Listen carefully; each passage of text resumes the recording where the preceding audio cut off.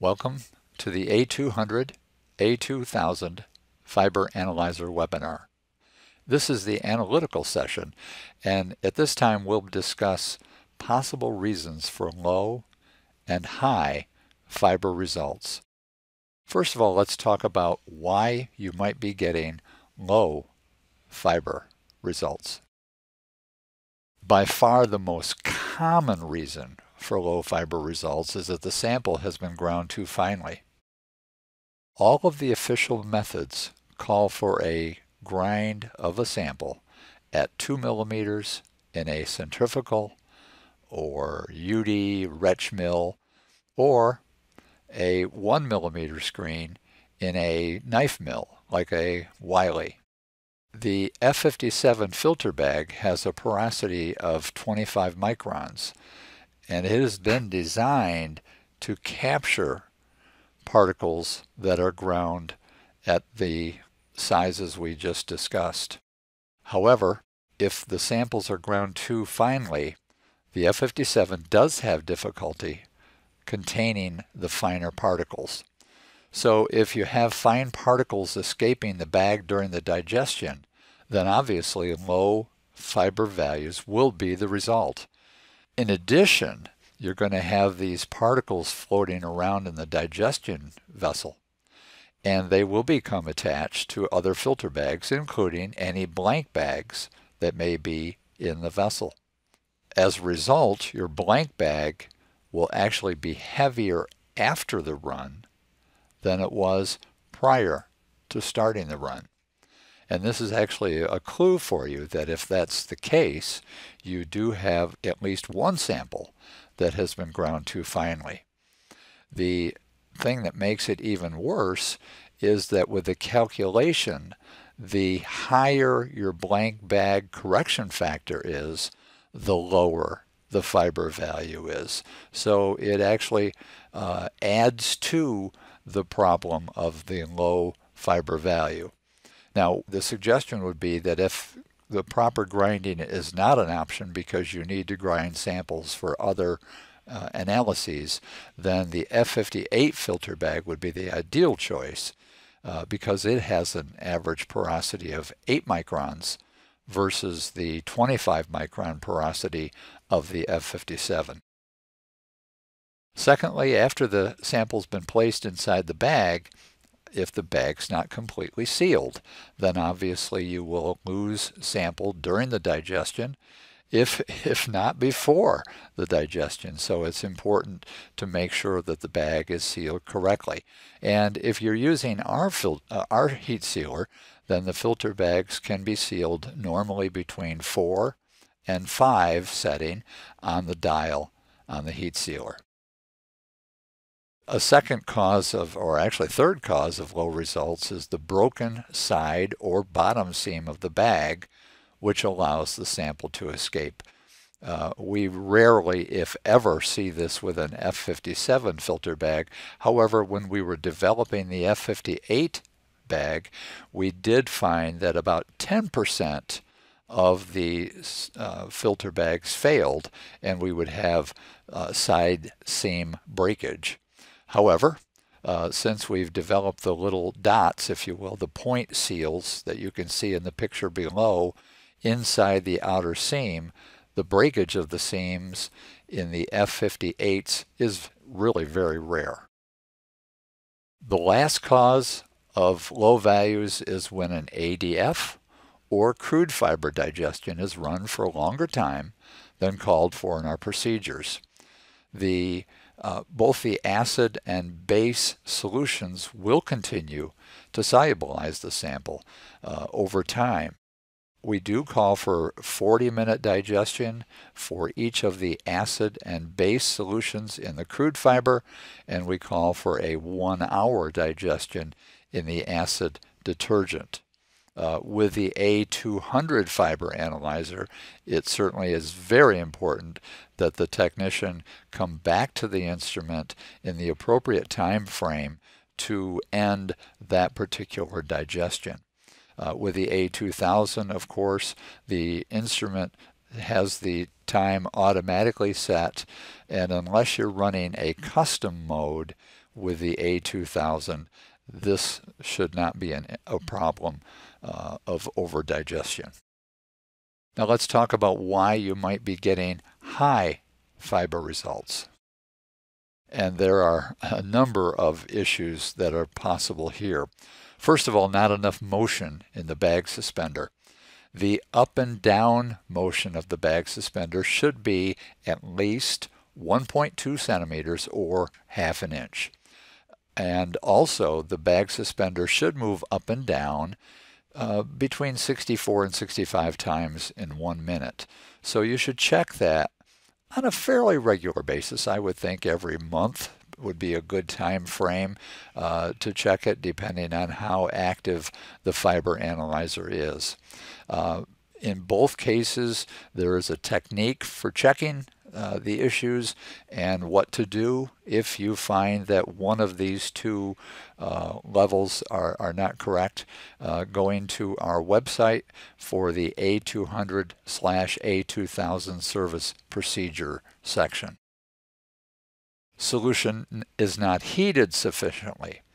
Uh, if the instrument is not coming up to temperature, even though the controller on the outside of the instrument indicates that the temperature is correct, the solution may not be at temperature, so it should be checked. And again, the boil test can be found at the uh, A200, A2000 service procedure section of our website. With a neutral detergent run, failure to use both or either alpha amylase or sodium sulfite uh, will cause higher results. As you undoubtedly know, the amylase helps to solubilize the starch, and the sodium sulfite breaks down the disulfide or protein bonds in the samples during the digestion. Uh, without either of these two additions, then uh, you will get artificially high results if the digestion does not run long enough. And of course, this is exactly the opposite of running the digestion for too long a time. But if the digestion is not run uh, for the 40 minutes with the two crude fiber uh, solutions, or actually uh, neutral detergent an hour and 15 minutes and one hour for the acid detergent, then the samples will not be fully solubilized uh, and the high fibers again will be the result.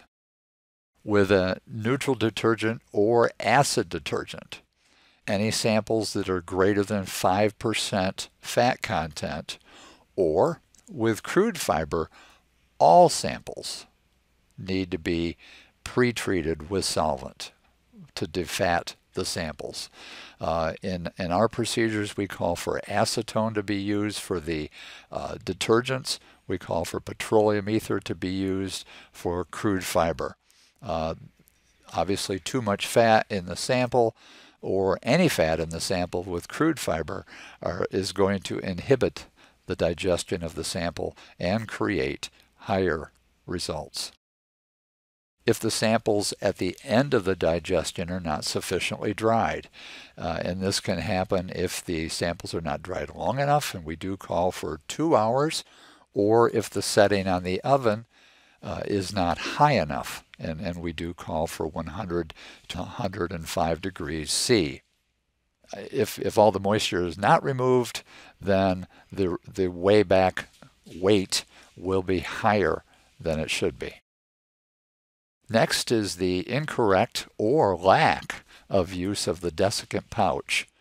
And, and it could be the, the, the pouches are being used properly, but the packets are not renewed, or even pouch conditions are very poor. This is probably one of the, the key reasons for high results. We, we find that people will use a regular desiccator, whether it be a countertop desiccator or a cabinet desiccator that they use for other purposes. And what we find is that when you have so many filter bags that you have removed from the oven and placed into the countertop or the cabinet desiccator, every time you open the door of the cabinet desiccator or remove the lid of the countertop desiccator. You're introducing moisture to the filter bags that remain in that desiccator. By the time you get halfway through, you have introduced enough moisture that the remaining bags that are still in the desiccator will have gained weight and again will have an artificially high fiber value. We have found really that a Ziploc bag with desiccant packets inside allow the user to press the air out of the bag once a filter bag has been removed and therefore uh, eliminating the additional moisture uh, from the ambient air uh, to get inside and affect the filter bags that remain. So it's really important to use a desiccant pouch and to use it well. Uh, making sure also that the little packets that are in the desiccant pouch are renewed. Uh, you can place them in the oven uh, maybe once a month, uh, depending again on, on use. Uh, at 100 to 105 degrees for a few hours. That will renew the, the little packets. And in addition to that, making sure that your Ziploc bag is in good condition. And if you do find that your Ziploc bag has a hole in it or, or holes in them, uh, then certainly you can replace them. And we would suggest replacing them with a freezer Ziploc bag because the plastic is, is much thicker. If the rinse water is not hot enough, the uh, sample will again give you higher results during the digestion, any of the non-fibrous components uh, may be solubilized, but not completely washed from the bag. If the rinse water is not hot enough, the components may precipitate back into the bag uh, or never be removed from the bag. Uh, so again, you're you're going to be weighing back a, a sample that is has too much weight. The temperatures for the rinse waters are at least 70 degrees for detergents and at least 50 degrees uh, for crude fiber. People ask us, well, can I use boiling water? And, and the answer to that would be certainly yes, uh, that's fine. If the acetone is re reused in the post-digestion soaking of the bags, the acetone will become if you will, waterlogged and not be able to do a good job at removing the water from the samples as they're soaked after the digestion. And will not be able to effectively remove any fat that remains in the bags and in the samples after the digestion. If the filter bags are sealed lower than the upper four millimeters, uh, it, it really is important to recognize that there's a specific bag size to sample size ratio. And if you seal the bag too low, then that is going to change the ratio and make it very difficult to spread the sample out in the bag well enough to get good solution flow during the digestion. And of course, if this occurs, the digestion will be less than expected uh, and will cause higher values. The same thing happens if there's too much sample in the bag. Again, you've affected that sample size to bag size ratio, and again, it will be difficult for the solution to flow through during the digestion. And finally, if the, the sample's not spread out in the bag well enough, again, making it more difficult for the solutions to flow through the sample and to create a full digestion. Some of the general analysis problems that may, you may find, uh, the one we see during the winter time when we ship, uh, especially the neutral detergent, the chemicals can precipitate out of solution with cold weather. So if this occurs, then the solution is going to uh, appear either really, really milky or slightly cloudy. And of course, the solution should be completely clear. Uh, this can happen with the concentrate of the uh, F, what we call the FAD20 uh, acid detergent concentrate also.